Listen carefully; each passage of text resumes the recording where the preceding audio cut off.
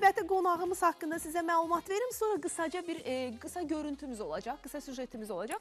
Və o süjetdən sonra da bu mövzuda söhbət etmək üçün e, bu mövzuda e, şəxsən mənim çox güvəndiyim bir həkim birazdan bizim studiyamızın e, qonağı olacaq. Və qeyd edim ki, qonağımız Respublika Müalicəvi Diaqnostika Mərkəzindən dəvət alıb və bizim e, bugünkü e, mövzumuz qalxanvari e, ətraf vəzin orqanizmin kalsium fosfor mübadiləsindəki rolundan danışacağıq. Yəni kalsium fosfor mübadiləsinin orqanizmimizdə nə kimi rolu var? Bu mübadilə pozulduğu zaman nələrlə baş-başa qala bilərik və bu problemləri arada qaldırmaq üçün nə etmək lazımdır? Hansı simptomlarda gözü açıq olmaq lazımdır?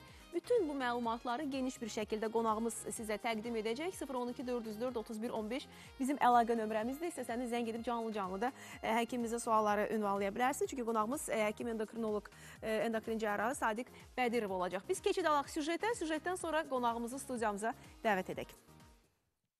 Dəri quruluğu və saç tökülmə. Əllərdə keymə və qıcılma, əzələ və sümük ağrıları. Yeriyərkən ayaqlarda ağrı. Sadalanan əlamətlərə biganə yanaşmaq çox ciddi fəsadlara yol açmaq deməkdir. Kalsium fosfor mübadiləsinin pozulmağı sümüklərin ovulması, kövrəlməsi və sınması ilə nəticələnir. Sınmış sümüklər isə bəzən bərpa olunmur. Amma nəticə fərqli. Adət etdiyiniz sağlam həyat ola bilər. Bunun üçün həkimə vaxtında müraciət edin ki, yaşam ritminiz pozulmasın. Bizimlə sağlam olun. Və bir daha nəzərdə çatdırım ki, e, qonağımız həkim endokrin cərrah Sadiq Bəbirov olacaq. Amma mən istəyirəm qısaca həkim haqqında məlumat verim. Belə ki, e, doktor Sadiq Bəbirov Türkiyənin İstanbul Tibb Universitetinin e, genəl cərrahi ABD endokrin cərrahi ixtisası üzrə işləmiş və oranı müvəffəqiyyətlə bitirmişdir. 2007-ci ildə qalxana bənzər vəzin və uşaqlığın müştərək cərrahi patologiyalar zamanı müalicə taktikası mövzusunu namizədlik dissertasiyası müdafiə edərək tibb elmləri namizədi alını almışdır. E, alimlik dərəcəsinə layiq görülmüşdür və hal-hazırda tibb üzrə fəlsəfə doktorudur və Respublika Müalicəvi Diaqnostika Mərkəzində çalışır. Gəlin elə həkimimizi studiyamıza dəvət edək və canlı-canlı e, mövcud problem haqqında ondan məlumatlar alaq. Buyurun doktor. Salam. Salam, əleykum. Çox xoşdur sizi studiyamızda Çox sağ olun. görmək. Sağ olun. E, çünki e, siz illərdir e, və Azərbaycanda ilk olaraq insanları e, sağlamlıqları mövzusunda maarifləndirən insanlardansınız ekranlar vasitəsilə. E, buna görə sizə təşəkkürümü bildirirəm. Mənə Sağ çox olun. xoşdur ki, bu gün biz sizlə eyni studiyanı paylaşırıq. Və gəlin elə başlayaq e, kalsium fosfor mübadiləsindən. Bu mübadilənin orqanizmdə rolu nədən ibarətdir? Ee, Bəlkə də tamaşaçılarımıza e, maraqlı gələr, daha doğrusu qəribə gələr ki, bu mövzu nədir? Çünki kalsium fosfor mübadiləsi deyəndə hər kəs e, bunun orqanizminin nə kimi rolu var, bunu bilmir. Kalsium e, dedikdə hər kəs e, əhəng daşı, mel və yaxud tərkibində kalsium var düşünür. Bu orqanizmdə bir rolu ola bilərmi? Əlbəttə var. Ümumiyyətlə e, bütün e, bizim həyatımız, bütün yaşamağımız, bütün orqanizmimizdə gedən bütün mürəkkəb bu e, biokimya proseslər, maddələr mübadiləsinin gedişi hamısı mikroelementlərin rolunu həyata keçirir ki, bunlardan da ən önəmlisi insan doğulduğu gündən, ilk ana bətnindən çıxanda ağlayan gündən, hətta ana bətnində olanda ürəyinin vurmasından başlayaraq orqanizmə məhz bu kalsium fosfor mübadiləsinin əhəmiyyətli dərəcədə olmağından irəli gəlir. Çünki e, kalsium nədir? Bir iyondur. Bunu biz süd məhsulları ilə ən çox onların Bəli. tərkibindədir, belə qəbul edirik. Bunun rolu nədir? Rolu odur ki, bütün sinir əzələ keçiriciliyi məhz kalsium iyonlarının hesabına olur. Kalsium iyonları olmasa heç bir əzələ təqəllüs etməz, heç bir əzələ fəaliyyət göstərməz. İstər ürək əzələsi olsun, istər ətrafların əzələləri olsun. Yəni biz qısaca belə əlimizi belə açıb yuma Açıb bilmərik. yuma bilmərik, bəli. Baxın, ə, məhz o sinir əzələ keçiriciliyini həyata keçirdən kalsium iyonlarıdır. Tamaşaçı belə bir sual verə bilər. Bəyən biz hər an süd məhsulları yeyirik ki, və yeməyəndə nətər hərəkət edirik? Ə, bu ə, həqiqətən orqanizmi Allah Taala necə mürəkkəb bir quruluş şəklində yaratmışdırsa, həqiqətən ə, möcüzəvidir. Çünki e, bu gün yeməsək də, amma bizim bədənimizdə illərlə toplanan ehtiyatlar var. Onlar istifadə olunur. Depomuz var. Depomuz var. Depomuz da xüsusilə sümüklərdə. Yəni ən çox depo həmin bax bizim bu dişlərimizdə, sümüklərimizdə toplanır. Qida ilə biz qəbul eləmədikdə, kalsium kifayət qədər bizə çatmayanda ki, bu gün bizim istehsal, daha doğrusu e, sərf etdiyimiz qədər kalsium ala bilmirik qidadan, orqanizm öz funksiyasını işə salır və başlayır bədəndəki kalsiumu qana keçirtməyə. Sümükləri əridərək qana keçirtməyə həmin bu kalsiyunu ki, məhz bütün bu sinir əzələ keçiriciliyi həyata keçirsin. Məhz ona görə də kəskin kalsium çatmamazlığındakı o qıc olmalar olur. Anında anında tədbir görülməsə ölmə qədər gətirib çıxarıla bilər. Yəni bu, qədər, vacib. Bəli, bu qədər vacibdir ki, bunu da məhz orqanizmdə idarə eləyən, xüsusilə başında duran qalxanvari ətraf vəzdir. Hamı düşünür qalxanvari ətraf nə, vəz nədir? Qalxanvari vəz. Qalxanvari vəz tamam ayrı bir orqandır. Qalxanvari ətraf vəz tamam ayrı bir orqandır. Yəni deyəcəklər ki, qalxanvari vəz tam mənimsənmədən keçdiniz ətrafa. Bəli. Gəlin biraz ətraflı danışaq bu haqda o zaman. E, qalxanvari ətraf vəz mərci boyda olan, orta hesabla 4 e, sayda olur. Qalxanvari vəzin belə deyək, zobun, urun arxasında yerləşən bir vəzdir. Məhz bu gün, bax bu gün efirə bu verilişi seçməyimizdə də məqsəd odur ki, çünki bu qalxanvari ətraf zob belədir ki, böyüyür, xəstə özü də əllə təyin edə bilir və yaxud ultrasəs müayinəsinə gedir, orada bir problem aşkar olunur, həkimə müraciət edir. Qalxanvari ətraf vəzini isə problemi aşkar olunmur. Nə elə böyümür, nə ultrasəs müayinəsində əksər hallarda görünmür. Yalnız onun işi artıq qabarıq şəkildə üzə çıxanda, sınıqlar meydana gələndə bilinir. Vaxtından qabaq osteoporoz yarananda bilinir. Təsadüfən gedəndə yoxlayırlar, görürlər, həqiqətən qalxanvari ətraf vəzdə problem var. Ümumiyyətlə qalxanvari ətraf vəzinin funksiyası sümükləri əritməkdir. Aha. Demək biz yetərincə kalsium almadığımız zaman Bəli. o işə düşür. Bəli, orqanizmə siqnal gəlir.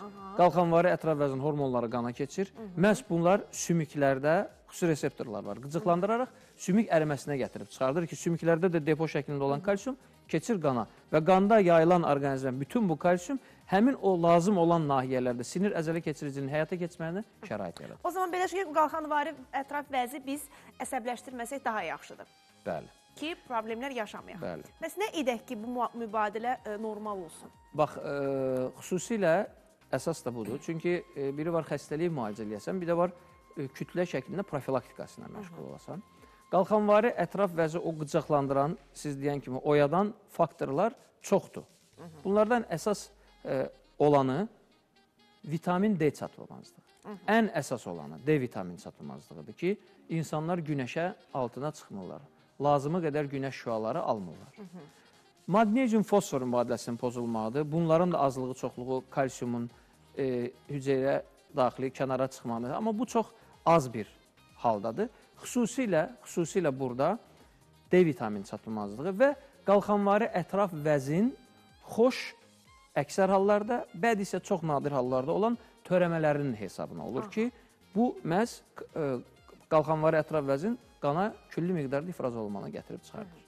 Yəni biz burada ilk öncə D vitamini depomuza fikir verməliyik ki, Bəli. bu e, qalxanvari Bir də e, çox-çox üzr istəyirəm. E, böyrək çatmamazlığından əziyyət çəkən insanlarda, xroniki xəstəliyi olan insanlarda, xüsusilə böyrək çatmamazlığından əziyyət çəkib hemodializ alan xəstələrdə alüminium zəhərlənməsi kimi olur orqanizmdə. Bax bunlar qalxanvari ətraf vəzin normadan artıq işləməyinə gətirib çıxardırlar. Demək onlarda da bu osteoporoz, osteomaliyasiya riski daha yüksək. Bəli, bəli, çox Aydındır. böyük.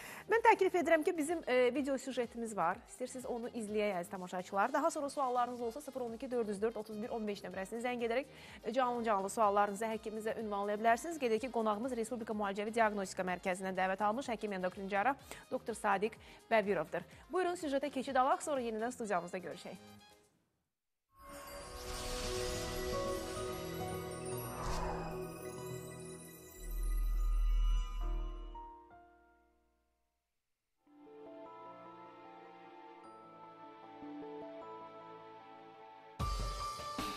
Dörd il öncəyədək normal yaşayırdı.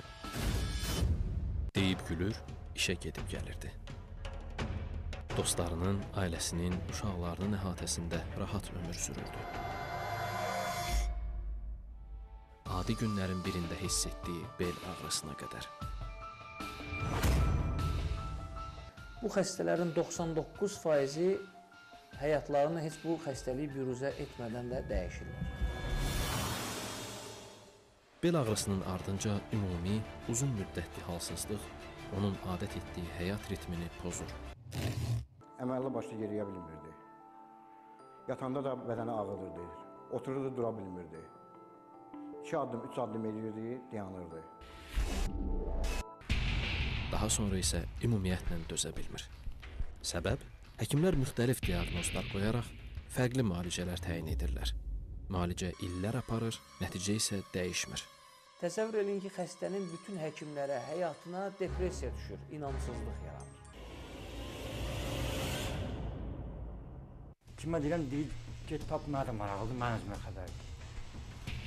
Bütün ümidlər kəsiləndə 100 nəfərdən birinin tutula biləcəyi xəstəlik aşkarlanır.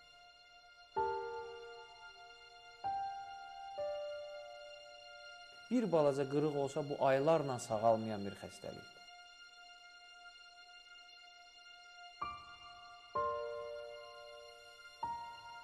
Qalxanvari ətraf vəzinin adenoması.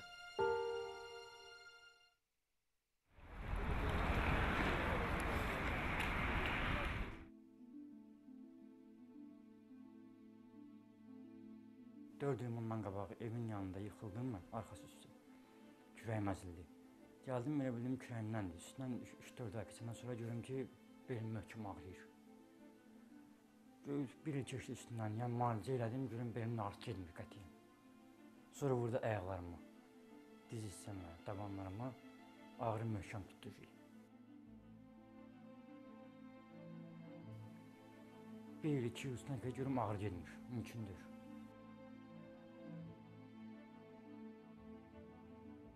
Kimə deyirəm, deyir, get tap mənə də maraqlıdır, mən özümə xəbərdir.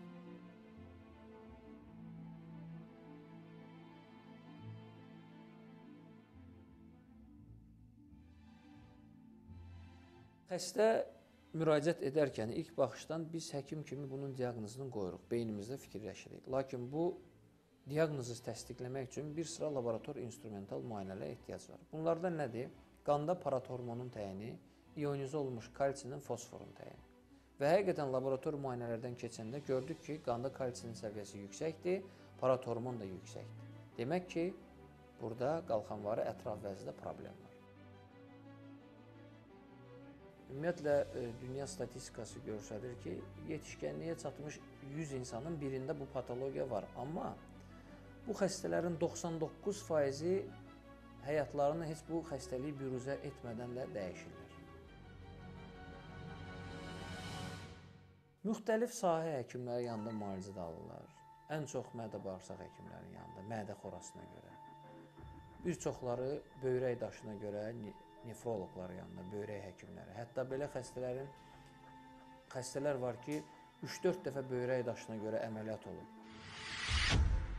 Hətta elə bir vəziyyətə gəlib ki, artıq böyrəyini də çıxardıblar.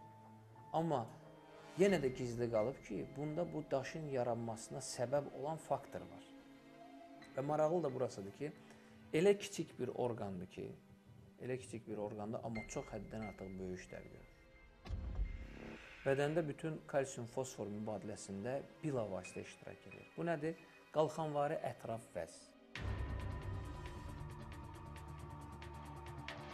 Xəstəliyə 20-50 yaşda xüsusən qadınlarda rast gəlinir. Ümumi əzələ zəifliyi, yorğunluq, yuxarı və aşağı ətraf əzələlərinin hipotoniyası, arıqlama xarakterikdir. Sümük və qarışıq formasında sümüklərdə hərəkət zamanı güclənən ağrı, gec sağalan, az ağrılı sınıqlar, çox zaman bud, çanaq, çiyin, qabırğa sınıqları, yalançı oynaqların formalaşması, skeletin deformasiyası, böyümənin zəifləməsi əsas simptomlardır. Döş qəfəsi çəllək forması alır. Sümüklərdə palpasiya zamanı köhnə sınıq yerlərində şişlik təyin olunur. Yavaş və ördək yerişi xarakterikdir. Qalxanvari ətraf vəzinin şişləri xoş xassəli və bəd xassəli olur. Adenoma çox zaman əsas parotirositlərdə inkişaf edir və aşağıdakı vəzilərdən birində lokalizə olunur. Bir neçə paratiroid vəzinin böyüməsi zamanı hiperplaziya ilə diferensiasiya etmək lazımdır. Ultrasəs müayinəsi, radioizotop müayinə, kompüter tomoqrafiyası və maqnit rezonans tomoqrafiyası diaqnozda mühüm rol oynayır. Müalicəsi cərrahidir.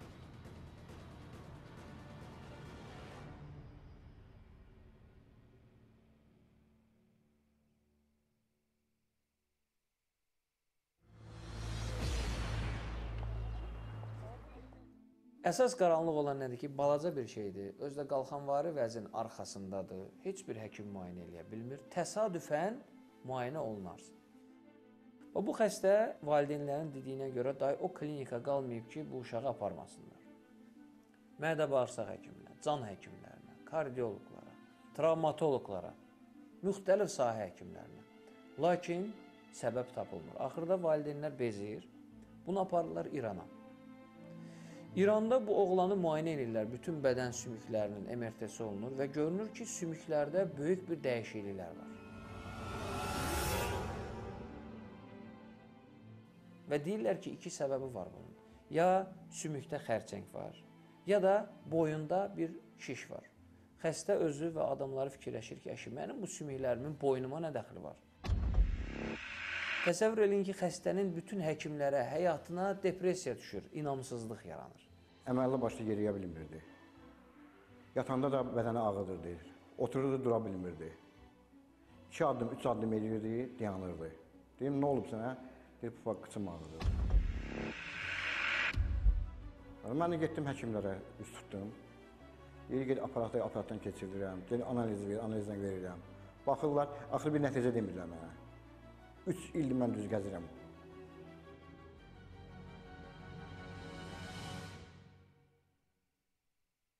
Ondan sonra getdim, üz tutdum İrana, getdim İrana.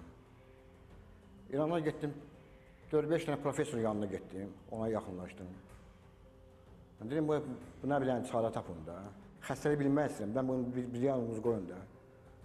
Diaqnozu deyir, biz də bilmirik. Bir ara keçəndən sonra təzədən bir, o bir, başqasının yanına yolladı məni. Dedi, get burun boğaz həkiminin yanına. Getdim onun yanına, dedi, ağsaqqal, mən dedi, bir sənə söz deyən mənəm, bunda heç nə yoxdur. Gəl onun boğazını eləyək, baxaq.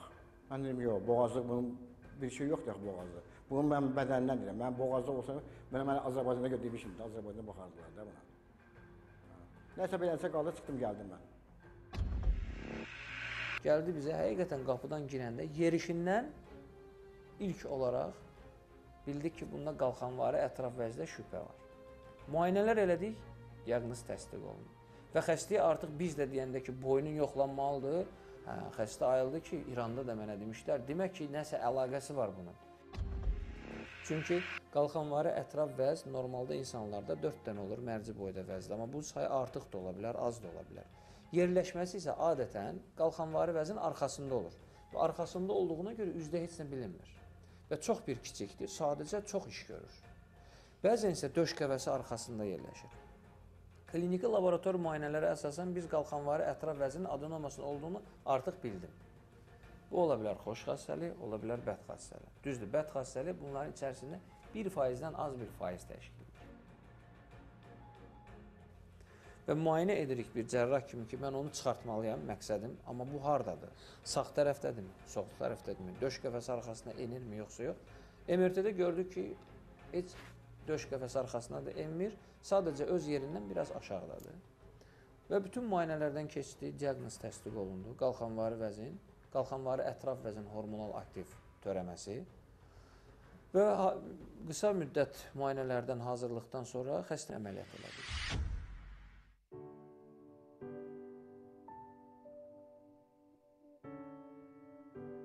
Əməliyyata gələndə də sağalma aparatı keçdim ki, görün həqiqət neçə ildir mən beləyəm. Yəni qalxa biləcəmmi ayağa yoxsa yox? Ancaq o idi beynimdə. İndi görə bunun qismət inşallah doktor sağalacaq deyib sağlanım deyir inşallah.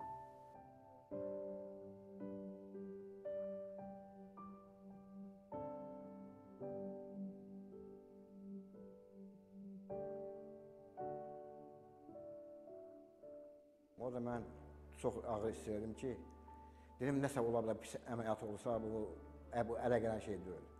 Mən də yanıram, atam da, ürəyim yanır da. Axır mən özüm qoymağa yetmə bilmirəm ki, ha, bunun dərdini çəkmək çox əzabdır. O ata üçün çox ağır, ağır işdir bu.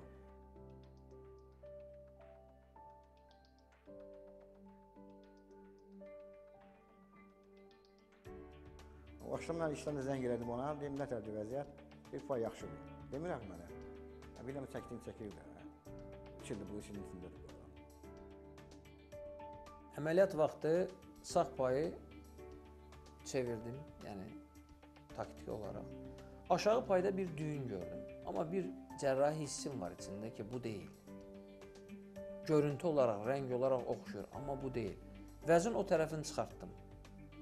Əlimlə dərini yoxlayarkən bir əlimə hiss edirəm ki, bir törəmə dəyir və altda beyinə gedən damarın arxasında səs telinə gedən sinirin altında yerləşmiş üzərini açandan sonra düzdür monitorla olduğumuza görə biz bu əməliyyata ilk növbədə sinir monitoru ilə gedirik ki, xəstəyə fəsad verməyək. Çünki məhz qalxanvari ətraf və sinirə bitişik olur. Çünki əvvəlcədən də e, radioloq bizə sual işarəsi altında olmuşdu ki, orada xərçəng də ola bilər. Xərçəng yəni bu sinirə bitişik də ola bilər. Biz siniri tam diferensiat etmək üçün biz bura monitorla getdik və həqiqətən düz səs telinə gedən sinirin altında 2 sm yarımlıq bir törəmə. Ətraf toxumalardan tam ayırıb götürdük. Bu belə bir patologiyadır ki, siz təsəvvür eləyin, sümükdə minerallar qovulub. Bunların yerinə bərpa 4 ildə bu qovulub. Bu 1 günə, 2 günə tam bərpa ola bilməz. Ümumiyyətlə belə xəstələrdə sümüklərin tam dolmağı hardasa 15 aya qədər davam edir. Amma bir neçə həftədən sonra artıq xəstə rahat hiss eləyir. Artıq rahat yeriyə bilir. Sümüklərində ağrılar tamamilə azalmış olur. Və təbii ki, biz ona dərman preparatları təyin eləyəcəyik ki, bədəndə olan bu kalsium defisiti aradan qalxsın.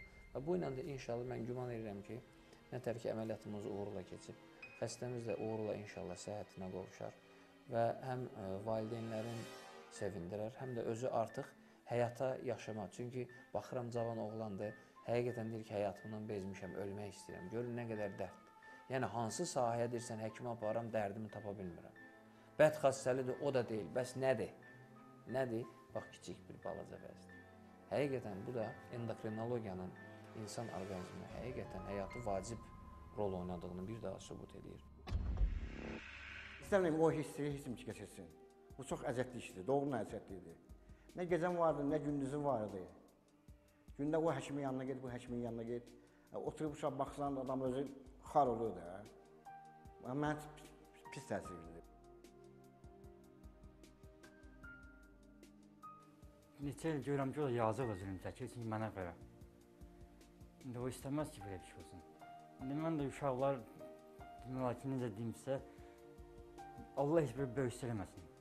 İndi mən də olmasam, uşaqlar zülm çəkərlər, çox güman ki. İndi əməliyyata girəncə hər şey gözünə durar ki, ola bilsin qayıda bilməyəm. Ola bilsin ki, sağala bilməyəm. O ümidlə gəlib sağalmağa ki, indi Allaha təvəkkül, demək sağalar. Uşaqlara baxışsız qalmaz inşallah. Bu mənim evladımı təzədən mənə bağışladı. İki dənə dil sağlıqçı körpəsi var. Ona bağışladı. Allah ona can sağlığı, uzun ömür versin. Minnətdaram ona. Natek, A deginən, A. Əməliyyatın fəsadı səsin problemidir. Yəni bu əməliyyat qalxanvari vəz əməliyyatında 100 xəstənin birində səsində batma təhlükəsi var. Bunlarda isə daha çoxdur. Çünki məhz adətən siniri elə qalxanvari ətraf vəzi görməklə müəyyən edirlər. Çünki onun qonşuluğunda olur.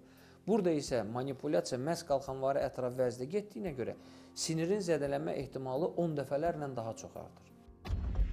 Və bu halda ən müasiri sinir monitorları var. Sinir monitoru ilə gedib qalxanvari ətraf vəzi götürürük sinirin qorunduğumuzdan tam əmin oluruq. Bu xəstədə də məhz bunu tətbiq elədik. Əməliyyat əvvəli və əməliyyat sonrası. Düzdür, siniri gördük monitorsuz, lakin görmə fakt deyil, təsdiq olunmalıdır ki, bu həqiqətən sinirdir. Və monitoru toxunduranda cihazın gələn səsi və elektrik dalğalarından, amplitudlarından gördük ki, bu həqiqətən sinirdir. Və onu çox ehtiyatla kənara ayıraraq onun altından o törəməni çıxartdıq. Prosesi bitirdikdən sonra, yəni törəməni artıq tam çıxartdıqdan sonra bir daha sinirin tamlığını yoxladıq və gördük ki, sinir heç bir zədə verilməyib. Və həqiqətən bu xəstə əməliyyat bitən kimi ekstubasiyada da xəstənin səsinin yerində olduğunu bir daha gördük və əməliyyatımız şükür Allaha fəsadsız keçib. Düşünürəm ki, bundan sonra da bir fəsadımız olmaz.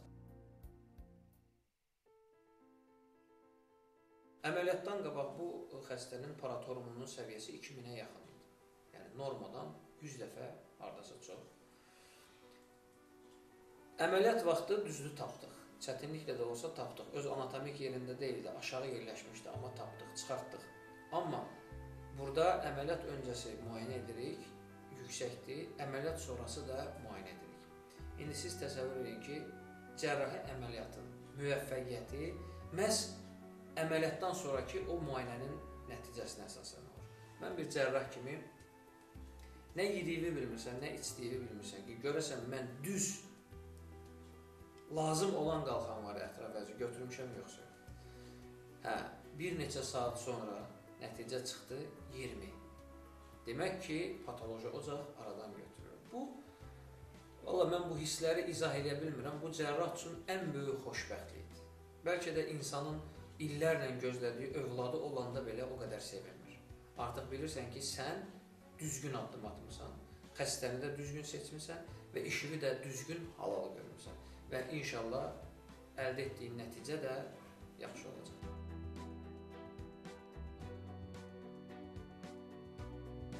Bax, budur əsas məqam. Əsas o həkimlikdə, əsas bu sənətdə adrenalin adı.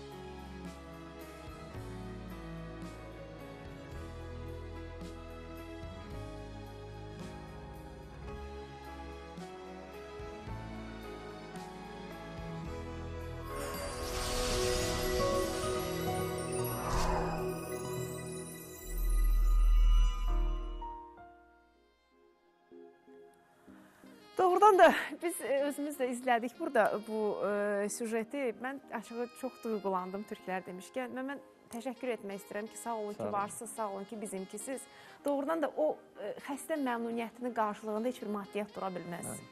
Ki, Həkimi də doğrudan ən çox xoşbəxt edən məqam məhz budur ki, o xəstəni sağaldırsan və yaxınlarına qaytarırsan. Təşəkkür edirəm sizə buna görə. Əziz tamaşaçılar, e, nəzərinizə çatdırım ki, qonağımız Respublika Müalicəvi Diaqnostika Mərkəzinin həkim endokrin cərrahı Sadiq e, Bəbirovdur və e, Respublika Müalicəvi Diaqnostika Mərkəzinə də biz dərin təşəkkürümüzü bildiririk ki, belə maarifləndirici bir süjet hazırlayıb tamaşaçılar, həkim işinin tamaşaçılarına təqdim etdiniz və qeyd edək ki, biz bu gün e, qalxanvari ətraf vəzin orqanizmin kalsium fosfor mübadiləsindəki rolundan danışırıq e, və qonağımızla da məhz bu mövzuda çalışırıq ki, sizin TV biliklərinizi artıraq, ekranlara biraz daha yaxın əyləşin, çünki biz birazdan e, siqnal simptomları eşidəcəyik. Hansı şikayətlər varsa biz dərhal bu problemdən e, şübhələnib həkimə müraciət etməliyik. Mən istərdim burada biz həkimlərə də mesaj ötürək. Çünki Aha. gördüyümüz kimi həkimlərin də gözündən qaçan məqamlar çox idi. Əlbəttə burada ilk olaraq ə, siqnalı həkimlər verməlidir. Təbii ki, bizi ə, tamaşaçılarımız çox izləmir, məsəl üçün. Amma həkimlər bu problemi bilməlidir. Natiq ə, bizim efirə çıxartdığımız ə, yüzlərlə xəstələrdən biridir sadəcə. Lakin bunların kişi və qadın cinsinə mənsub olmağından asılı olmayaraq, hamısının demək olar ki, bir 80% oxşar şikayətləri var. Məsələn, e, efirdə yəqin ki, izlədilər tamaşaçılar. Natiqin yerişindən, natiqin hərəkətindən, özünün və yaxud atasının dediyi şikayətlərdən demək olar ki, bu qalxanvari ətraf vəzin adenomasına əziyyət çəkən bütün insanlarda var. Və bu artıq çox gecikmiş faktdır.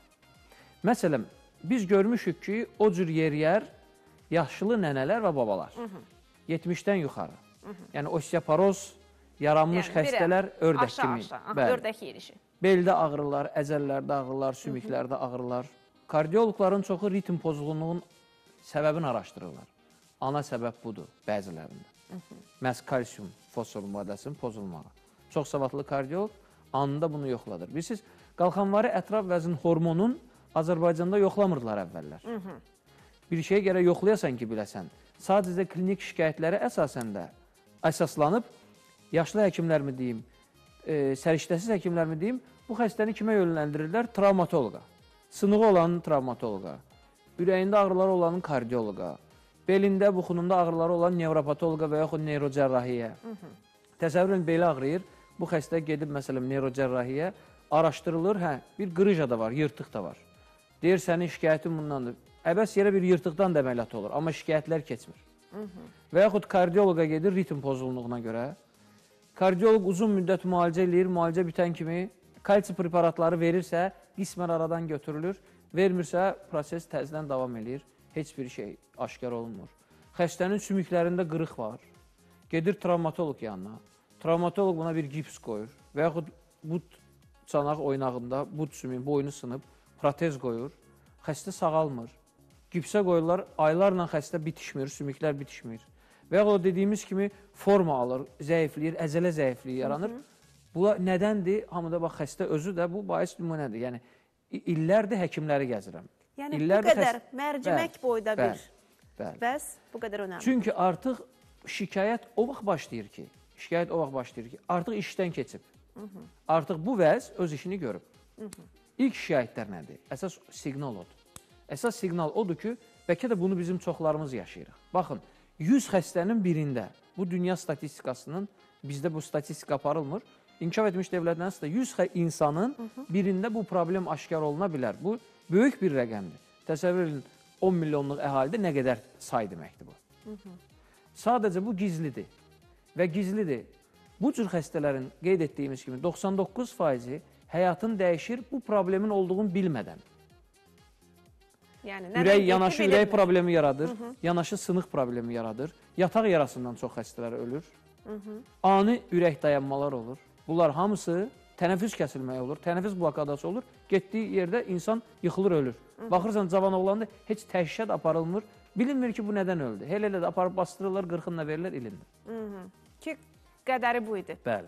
Aydın. İlk olaraq nədən başlayır? Nədən ilk başlayır? olaraq ilk olaraq sümüklər başlayır əriməyə. Bu nədən bilinir? Ən incə sümüklər kürək sümükləridir, bel sümükləridir, qabırğa. Ağrılar varsa, əzələlərdə keyləşmə, əllərdə, ətraflarda keyləşmə varsa, bax keyləşir. Qıcolmalar olur. Üşüyür sanki. Bir dəri quruluğu olur. Saçlarda bir seyrəlmə olur. Sümüklər, ətraflar, bəzənin bəzi yerlərində ağrılar. Ən çox diş qırılmalarına. İndi baxın, beynimizdə fikirləşək, hamının dişi qırılır, hamı həyatında bir dəfə də olsa stomatoloqa gedib. Amma stomatoloq müəyyən etdikdə ki, məsələn, insan ağız boşluğu gigiyenasına fikir verir, başqa bir problemi yoxdur, anında stomatoloq düşünməlidir ki, bunun dişləri əriyirsə, bir bunda qalxanvari ətraf vəz yoxlanılsın. Çünki qalxanvari ətraf vəz yoxladıq tutalım. Normadan artıq çıxdı. Bu Hansı hamıda hormondur? Bunu bir daha səsləndirək. paratormon, Paratormon. paratiroid hormon. Bəli. Paratormon yüksəkdirsə, məhz mütləq bunda bu problem var, o da deyil. Deyil. Baxın, əhalimizin əksəriyyəti D vitamini çatılmazlığından əziyyət çəkir. Nəyə görə? Əksər adamlar günəş şüalarının altına çıxmır. Bəziləri onkoloji xəstəliklərdən qorxur, bəzilərinin həyat tərzi budur, ev, ofis və s. ilaxır. D vitamini, kəskin D vitamini çatılmazlığı olan xəstələrin hamısında paratormon yüksək olur. Çünki f- məsələ nədir? D vitamini olmayanda qida ilə qəbul etdiyimiz kalsium bağırsaqlardan sorulmur. Yəni Əksər- cəmaət yığılır astanovkaya, amma avtobus gəlib onları aparır. Bəli. Yığılmır, sovrulmur, bədəndə kalsium çatılmazlığı olur, bədən başlayır depo şəklində, ehtiyat şəklində olan kalsiumu qana keçirmək. Buna görə də nə olur? Paratormon yüksəlir. Hə, D vitamini kəskin çatılmazlığı əziyyət çəkir, paratormon yüksəkdir. Amma biz D vitamini müalicə edirik, D vitamini normaya düşən kimi paratormon da düşür. Şikayətlər də aradan qalxır. Şikayətlər də tədricən aradan qalxmalı. Lakin bu xəstələrdə isə nə inirsən elə, paratormon normaya düşmür. 2000, 3000, bizdə xəstə var 5000. Bizdə xəstə var yataqda qırılır bud sümüyünün boynu. Ən çox bax dişlər qırıldısa, o dediyim simptomlar, əllərdə keyləşmə, giziltilər, qıc olmalar, kürəkdə, beldə, aşağı ətraflarda və s. ağrılar Travmasız var. sınıq. Bəli. Artıq xəstəliyin bu ağır formalarında yerişdə bir problem varsa, ürəklərində ritm pozğunluğu varsa, insan düşünməlidir ki, bir mən bunu da bir yoxlatdırım. Günəş şüaları az qəbul eləyirsə xəstə, süd məhsulları az yeyirsə, baxın, sadalayırıq, görün nə qədər şikayətlər var.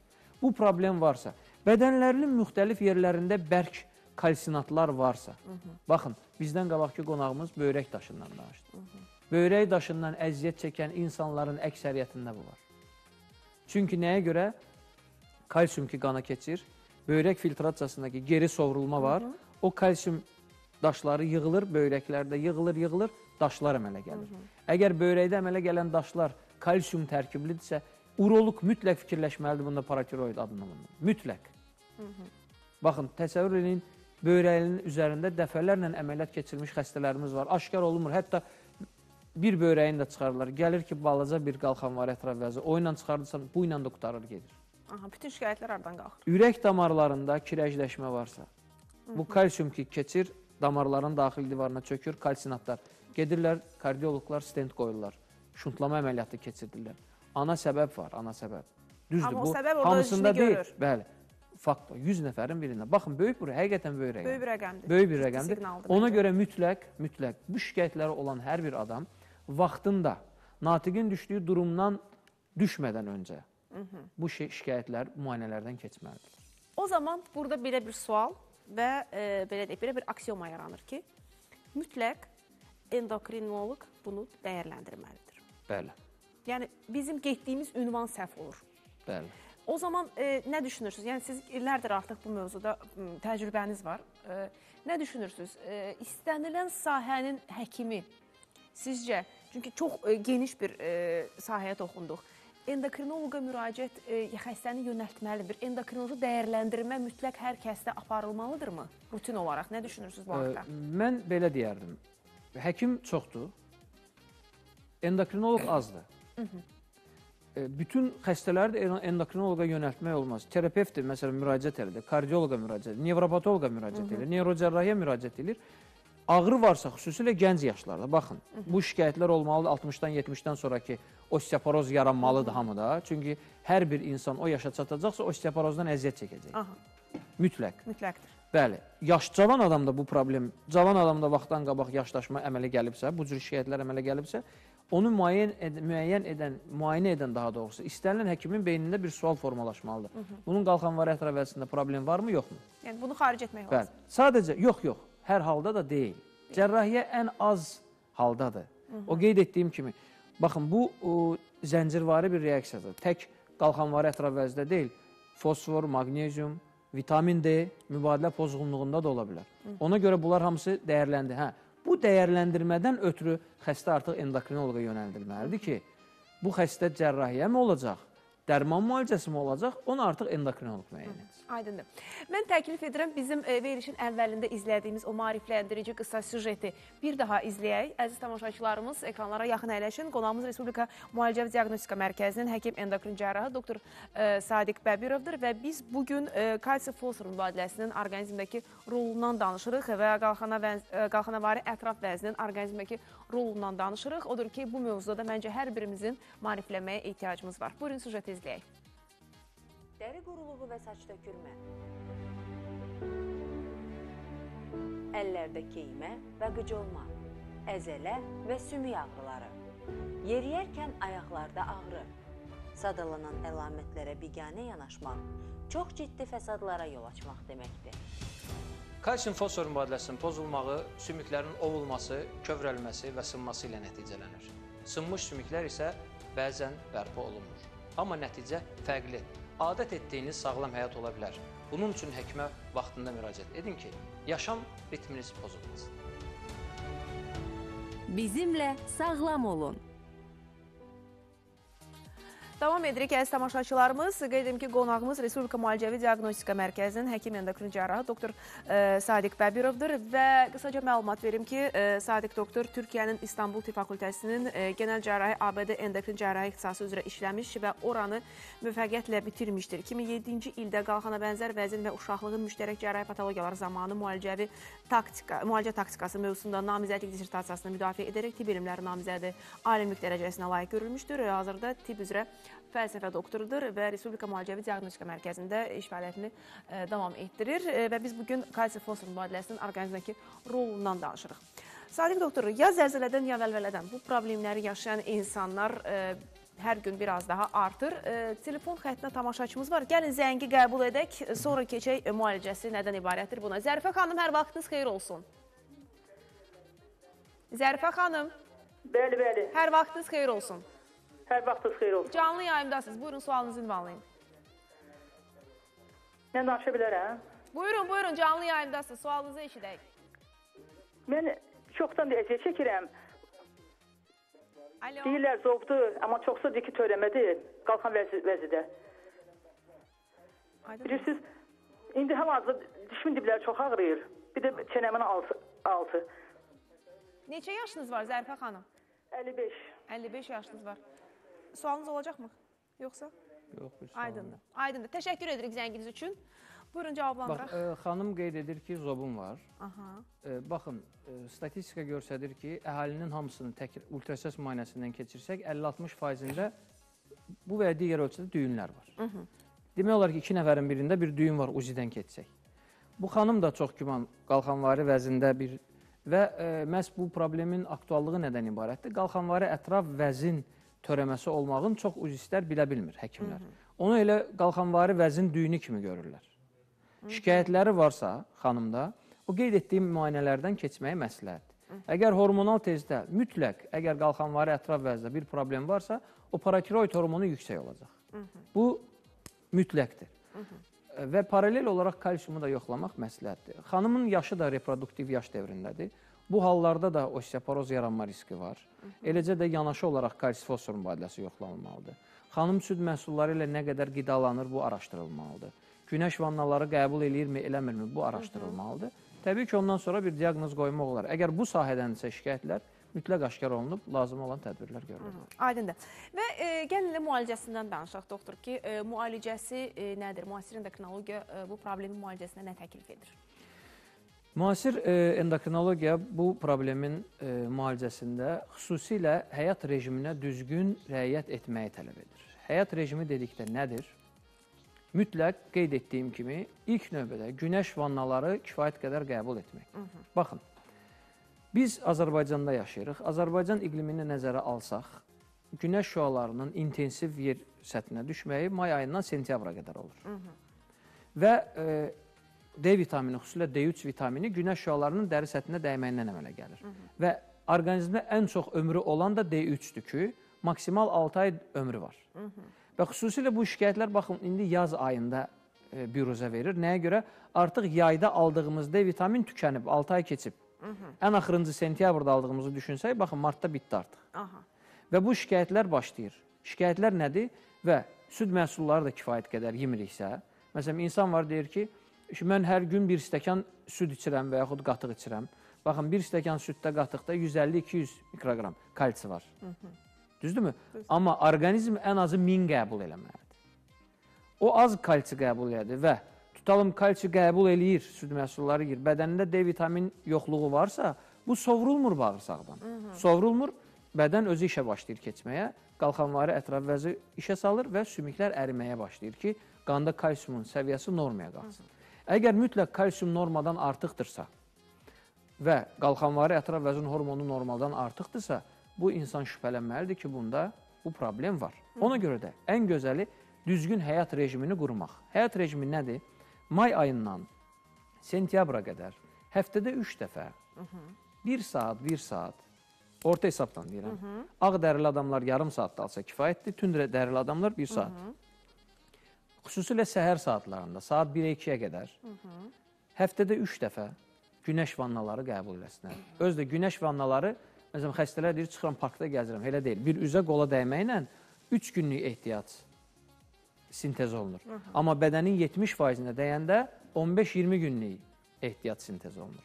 Ona görə də bədəni san, e, sanki düşünün bir e, zaryadkaya taxılmış bir cihaz kimi. Hı -hı. Yay ərzində zaryadka alırıq, il boyu istifadə olunur. Və D vitaminimiz bizim bədənimizdə kifayət qədər olduqdan sonra yediyimiz qidaların tərkibində olan kalsium bağırsaqlardan sovrulur qalxanvari ətraf vəz işə keçmir, işə düşmür və orqanizmdə bütün bu kalsi fosfor mübadiləsi qayda qanununda gedir. Amma hə, o dediyim zəncirlərdən biri pozulduğu anda bu problem yaranır və bu zəncirin hansısa bir halqası qırılır və bu problem meydana gəlir. Və qalxanvari ətraf vəz başlayır normadan artıq işləməyə, artıq işləməyə, artıq işləməyə. Bu bir də görürsən ki, artıq orada bir düyün əmələ gəldi aktiv bir düyün oldu ki, bax necə ki o natiqdə qalxanvari ətraf vəzin hormonal aktiv törəməsi. Ondan sonra nə qədər süd də yesən, nə qədər günəş vannası da qəbul etsən, artıq o tərəmə öz-özünə sorulub getmir. Yeganə yolu cərrahi onun oradan götürülmək olur. O zaman belə bir sual yanır. Demək ki, qapalı xanımlarda Bəli. Və yaxud ümumiyyətlə e, belə deyək, din, dindar bəylər də günəşlənmirlər çox vaxt insan. D vitamini e, fəsildən asılı olmayaraq aşağı çıxacaqdır. Bəli. E, bax biz müayinə edirik xəstələri. E, qapalı xanımların demək olar ki, kim ki həyət evində yaşamır, həyətində örpəyin açıb işləmir, 99%-də D vitamini yoxluğu var. Biri var çatmamazlıq, biri var yoxluq. Hı -hı. Çünki həqiqətən e, birsiz hər bir e, şeyin hər elmi sübutu var. Bu qapanmaq ərəb ölkələrindən gəlib, orada il boyu günəş var. Və hamı həyət evində yaşayıb, günəş vannaları qəbul edib, hamı öz həyətində örpəyin atıb işləyib, mütləq bədənə gün dəyib və D vitamin sintez olunub, bu problem yoxdur. Bizdə isə Azərbaycanda bu belə deyil. Heç kim həyət evində, bostanında işləmir və bizdə ərəb ölkələrində olduğu kimi il boyu günəş yoxdur. Düzdür, hər gün günəş olarsa, 15 dəqiqə kifayətdir ki, tək üzə və əllərə gün dəysin ki, D vitamin sintez olunsun. Amma hər gün günəş varmı, yoxmu? Yoxdur. Yoxdur. Və yaxud varsa da ofis şəraitidir, iş şəraitidir. Xanımlar evdən çölə çıxmırlar. Və yaxud xəstələr var, e, ildə bir dəfə tutalım Antalya və yaxud dəniz kənarına gedirlər, isti ölkələrə gedirlər. Biz gedirik, bizdə niyə D vitamin çatılmazlığı var? Bir sual verirsən. E, günəş qoruyucu kremlərdən istifadə edirsən, deyir mütləq. Onsuz ki, o həmin o günəş qoruyucu kremlər D vitamin sintezini əngəlləyir. Şüşədən, aynadan alınmış günəş şüalarının düşməyi D vitamin sintezini əngəlləyir. Örpəkdən, pərdədən düşmüş günəş şüaları D vitamin sintezini Və günəşlərdən Əngəl. saatları da var yəni. Bəli, mütləq saatlar vacibdir. Aha. Yəni ilk olaraq o e, gün gün ortaya qədər, yəni saat 1-ə 2-yə qədər daha yaxşıdır. Və e, doktor, e, siz də yəqin bunu təsdiq eləyərsiniz. Qatıldığımız son elmi konfransda hətta günəşlənən insanlarda niyə D vitamini əksikliyi görürük? Ciddi azlıq olmasa da e, azlığı görürük və belə bir fikir səsləndi ki, görəsən hava kirliliyinə bağlı olaraq ola bilərmi? E, baxın, e, o bayaq söhbətimdə qeyd etdim. O baxır nə vaxt araşdırırıq. D vitamini, günəş vannaları qəbul edən insanların əksəriyyətində D vitamini normaldır. Biz bəzi xəstələr, məsələn, indi günəş yoxdur, məcburi e, damla şəklində, yağ şəklində, iynə şəklində yazırıq. Məsələn, o xəstə ki, damla şəklində, məsələn, bağırsaqlarında sorulma prosesi varsa, o sovrulmur. Amma günəş belədir ki, yaşından asılı olmayaraq, istər cavan olsun, istər yaşlı, mütləq günəşə dəri günəş dəriyə dəyəndə D vitamini sintez olunur. Düzdür, yaşlı e, adamlarda bu proses biraz uzun olur. Ona görə yaşlıların yarım saat deyil, 1 saat qalmaqları tövsiyə olunur günəş şüalar. Amma mütləq sintez olunur. Çünki Allah Taala e, heç bir orqanı heç nədən yaratmayıb və e, təbiəti də elə belə yaratmayıb. Olan hər bir şeyin insan orqanizmi üçün məhz rol var. Aydın. Əvəz edilməz rol var. Aydındır. Təşəkkür edirik belə ətraflı məlumat üçün. Eldar müəllim telefon xəttindədir səhv etmirəmsə. Eldar bəy, hər vaxtınız xeyir olsun. Salam aleyküm. Buyurun, Mən canlı yayındasınız. Buyurun, Mən doktora sual vermək istəyirdim. buyurun. Deməli mən tərləmədən əziyyət çəkirdim. Sadəcə olaraq həkimlər məsləhət gördülər ki, bu hormonal analiz vermək üçün. Analizi verəndə məndə elə bil TSH çox aşağı bir səviyyədə çıxdı, amma sadəcə T3 ilə T4 qanda normal vəziyyətdə. Yəni bu normal bir haldır, yoxsa hardasa müayinədən keçmək lazımdır daha da. Yaşlı soruşaqmı? Ehtiyac varmı? E, kifayə ehtiyac Aha, yoxdur. Aydındır. Təşəkkür edirik zəng Bəli, e. TSH-ın aşağı T3-ün, T4-ün normal olmağı ola bilər. Buna e, subklinik hipertireoz deyilir. Bu halda da tərləmələr ola bilər. Amma tərləmələr xüsusilə qış fəslində daha çoxdursa D vitamini mütləq araşdırılmalıdır. Çünki qeyd etdiyim kimi D vitamini yayda sintez olunan artıq müddəti bitib, tükənib. Artıq e, aldığımız D yalnız qidaların tərkibində o cüzi aldığımız D2 vitaminin hesabına yaşayırıq. Günəş çıxan kimi baxın günəşə can atırıq. Hətta istini sevməyən insanlar belə günəşə can atır. Hətta deyir günəşləndim, e, Bəli. keyfim özünə Keyfim- gəldi. bəli, bəli. Çünki e, məhz bu unutqanlıq, saç tökülməsi, xroniki bahar Bax, yorğunluğu o sindromu. söhbət söhbəti gətirir. Aha. Məhz bax bu yax qeyd etmədiyimiz, müəllim də yadımıza saldı. Aşırı tərləmələr, Aha. depressiv sindroma, depressiya düşür, yaddaşsızlıqlar, keyləşmələr, nitq ləngimələri, bunlar hamısının bax bu xəstəlikdən xəbər verir. Ona görə mütləq araşdırılmalı. Əziz tamaşaçılar, nəzərinizə çatdırım ki, qonağımız Respublika Müalicəvi Diaqnostika Mərkəzinin həkim endokrin cərrahı doktor Sadiq Bəbirovdur. Suallarınız varsa 012 404 31 15 nömrəsini ünvanlaya bilərsiniz. Mən təklif edirəm, biraz daha maariflənib, daha gözü açıq olmağımız üçün nələr etməliyik, yeni qoşulan tamaşaçılarımız üçün qısa süjetimizi bir daha e, göstərək və daha sonra söhbətimizə davam edək. Dəri quruluğu və saç tökülmə. Əllərdə keymə və qıcılma, əzələ və sümük ağrıları. Yeriyərkən ayaqlarda ağrı, sadalanan əlamətlərə biganə yanaşmaq çox ciddi fəsadlara yol açmaq deməkdir. Kalsium fosfor mübadiləsinin pozulmağı sümüklərin ovulması, kövrəlməsi və sınması ilə nəticələnir. Sınmış sümüklər isə bəzən bərpa olunmur. Amma nəticə fərqli. Adət etdiyiniz sağlam həyat ola bilər. Bunun üçün həkimə vaxtında müraciət edin ki, yaşam ritminiz pozulmasın. Bizimlə sağlam olun. Bəs tamaşaçılarımız verilişimiz sonlara doğru yaxınlaşır, amma biz çalışaq qalan vaxtımızdan da səmərəli istifadə edək. Qonağımız Respublika Müalicə və Diaqnostika Mərkəzinin həkim endokrin cərrahı doktor Sadiq e, Bəbirovdur. E, və doktor, mən istərdim ki, biz e, müalicə taktikasından danışaq biraz. Müalicəyə də yer ayıraq. Müalicə əgər qalxanvarı ətraf vəzin artıq hiperaktiv adenomasi əmələ gəlibsə, yeganə yolu cərrahiyyədir. Yəni əməliyyatla götürülmə. Hə, yox, adenoma əmələ gəlməyib. Hiperplaziyası var, böyüməsi var hiperaktivliyi var. Bu halda müalicəsi var, dərman müalicəsi. Bu da yenə dediyim kimi mütləq o zəncir araşdırılmalıdır. Hansı halqada pozğunluq varsa o aradan götürülməlidir ki, bu proses sönsün. Aydındır. E, cərrahiyyə. Bəzən insanlar qorxur ki, yəni o mərcimək boruda bir vəzdir. Hələ bir onun adın olması da varsa, yəni siz az öncə biz süjetdə də izlədik ki, ə, əks göstərişlər varmı və yaxud ə, hansısa bir fəsad ola bilərmi? Cərrahiyyə məqsədi nədir? Bu cərrahiyyədən gözlədiklərimiz nədir? Yəni bu əməliyyatlardan sonra ə, nələrin düzələcəyini gözləyirik? Əlbəttə əməliyyat olaraq çox incə əməliyyatdır. Boyun nahiyəsində olduğuna görə. Çünki ən mürəkkəb anatomik quruluş məhz burdadır. Hı -hı. Bütün həyatı vacib damar və sinirlər burdadır. Hı -hı. Və məhz qalxanvar ətraf vəzdə yaxındır. Hı -hı. Və ə, e, əgər yerində yerləşirsə rahatdır tapmaq. Amma döş sümüyü arxasında yerləşirsə tapmaq çətindir. Məsələn, Hı -hı. o gün bir xəstə əməliyyat eləmişəm, döş sümüyü arxasından. Sterenotomiya olmadan çıxartmışıq yuxarıdan. Aha. Yəni burada şükür Allah əlimizdə hər cür texnika var Hı -hı. ki, xəstəni minimum vaxtda maksimum effekt verməklə yüksək səviyyədə iş görək. Hı -hı. Şükür Allah buna da Diaqnostika məqsədi mərkəzinin hər bir şəraiti var. Aydındır. Təşəkkür edirik Respublika Müalicə Diaqnostika Mərkəzinə də. Çünki həkim üçün doğrudan da iş şəraiti çox önəmlidir ki, əlimizin altında hər bir avadanlıq olsun, Bəli. istədiyimiz analizlər dərhal hazır olsun ki, o zaman daha keyfiyyətli xidmət göstərməyimiz üçün bu çox önəmli məqamdır. Və bu şəraiti də təbii ki, Respublika Müalicə Diaqnostika Mərkəzi öz həkimlərinə e, yaradır. Və bizim son 2 e, dəqiqə vaxtımız var. Mən istəyərdim ümumiyyətlə bizim e, tamaşaçılarımıza nəsə bir məsləhətiniz, tövsiyəniz varsa onları da işləyək. Tamaşaçılarımıza arzum, tövsiyəm odur ki, sağlam olsunlar, sağlam ayaqda dursunlar. Sağlam ayaqda durmaq ilk növbədə həyat rejiminə normal yanaşmaq deməkdir. Vaxtı-vaxtında hava da alsınlar, günəş vannaları da qəbul eləsinlər, süd məhsulları. Baxın, həyat süddən başlayır. Dünyaya gələn uşaq ilk yediyi süddür. Ölənə qədər də bu davam olur. Və yaş artdıqca südə olan ehtiyacımız daha da artır. Çünki həyat oradan başlayır, həqiqətən və e, biz indi bilmədiyimiz, elmin sübut eləmədiyi bir sıra qaranlıq məqamlar var. Bəlkə də bu yaxın 10 illiklərdə hamısı üzə çıxacaq və e, düzgün həyat rejimi, düzgün həyat rejimi sağlamlığın mən deyərdim bəlkə də 70-80 faizi deməkdir. Düzdür, əlavə xəstəliklər yaranarsa, buna da biz həkimlər Allah izin verərsə yardım edib xəstəni bu vəziyyətdən çıxarlar. İnşallah doktor. Mən sizə təşəkkür edirəm studiyamıza gəldiyiniz üçün və tamaşaçıları bu önəmli, amma az danışılan mövzuda bu qədər e, maarifləndirdiyiniz üçün bilirəm ki, zamanınız çox məhduddur, amma yenə də o dəyərli vaxtınızı bizə ayırdığınız üçün minnətdaram sizə. Yenidən inşallah görüşərik. İnşallah. Təşəkkür. Aparıcılığımı bəyəndiniz yoxsa necə? Təşəkkür edirəm. Buradan sizi yola salacağam doktora. Sağ olun.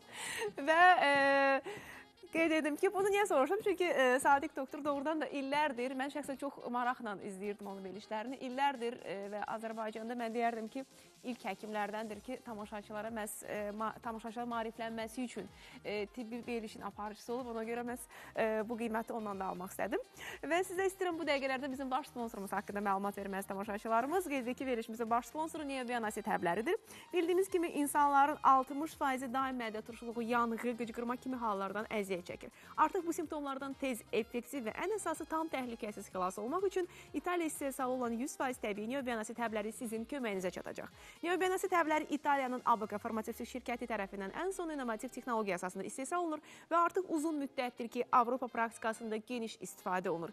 Digər preparatlardan fərqli olaraq Neobianasi təbləri tərkibindəki dər şəfalı dərman bitkiləri və təbii minerallar sayəsində qida borusu və mədədə qıcqırma, ağrı və yanğı kimi əlamətlərə qarşı tez, effektiv və davamlı müalicəvi təsir göstərir.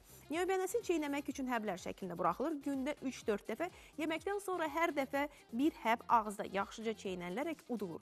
100% təbii glutensiz olduğundan hətta hamiləlik və laktasiya dövründə də rahatlıqla istifadə oluna bilər. Daha bir rahatlığı ondan ibarətdir ki, niyobənəsit həblərini istənilən apteklərdən rahatlıqla əldə edə bilərsiniz. Təşəkkürlər bizim baş sponsorumuz Niyobənəsit həblərinə və mən istəyirəm növbəti təşəkkürümü bildirim Medex MMC-yə verilişimizdə göstərdiyi təşkilati dəstəyə görə tibbi, kosmetoloji, laborator və sanator kurort avadanlıqlarının satışını, quraşdırılmasını və texniki servisini, o cümlədən o cümlədən tibbi sərf malzəmələrin satışını həyata keçirən Medex MMC-yə dərin təşəkkürümüzü bildiririk və ekranda gördüyünüz xidmətlər üçün Medex MMC-yə müraciət edə bilərsiniz. Tibbi və laborator avadanlıqlar, kosmetologiya və spa avadanlıqları, koklear implantologiya və işitmə cihazları, tibbi sərf malzəmələri, texniki servis və təlim satış mərkəzi və depo, həmçinin layihələndirmə və konsalting xidmətləri üçün Medex MMC-yə müraciət edə bilərsiniz. Yetər ki, keyfiyyətli xidmət göstərin e, və tibb müəssisənizdə keyfiyyətli e, servis olsun. Bunun üçün də təbii ki, e, Medex MMC-yə müraciət edə bilərsiniz. Və keyfiyyətli məlumatlar alıb maariflənmək istəyirsinizsə, sağlamlığınızı sağlam ikən qorumaq istəyirsinizsə, təbii ki, həftə içi 5 gün ailənizin kanalında, ailənizin xəzərində 14-25-dən etibarən həkim işi verilişini izləməyi unutmayın. Çünki biz sizin üçün çalışırıq. Sizin sağlamlığınızı qorumaq üçün, tibbi biliklərinizin artırması üçün çalış- çalışırıq ki, inşallah ki, buna da nail oluruq. Salamat qalın, özünüzə yaxşı baxın, sağlamlığınızı sağlam ikən qoruyun. Thank you.